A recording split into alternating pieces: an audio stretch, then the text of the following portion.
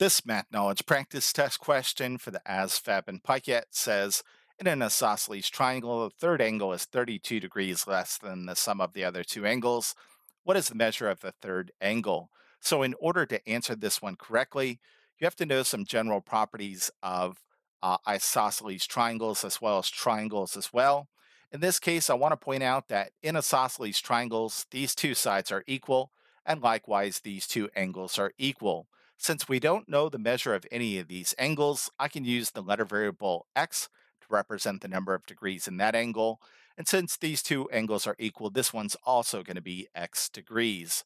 As far as this third angle is concerned, we know according to the problem, it's 32 degrees less than the sum of the other two angles. So that's going to be x plus x minus 32.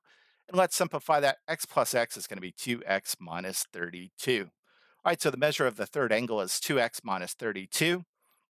In order to answer this one, you also have to know that all the angles in a triangle add up to 180 degrees.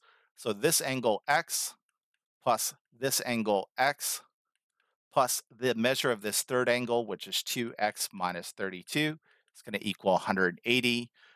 x, x, and 2x is going to be 4x. So this is 4x minus 32 equals 180.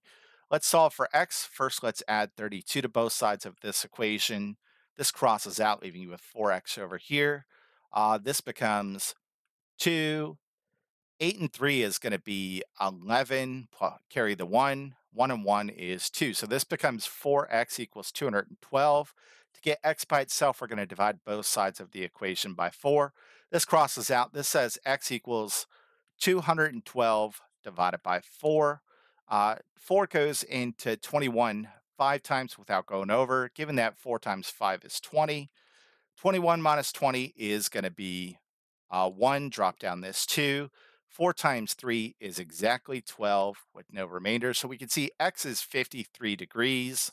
Again, we want to know the measure of the third angle, which is just not x, it's 2x minus 32. So this becomes 2 times, again, x is 53 minus 32.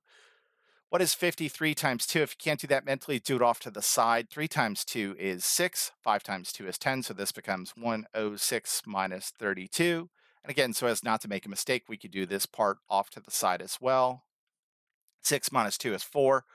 10 minus 3 is 7. So the measure of this third angle is uh, B, 74 degrees.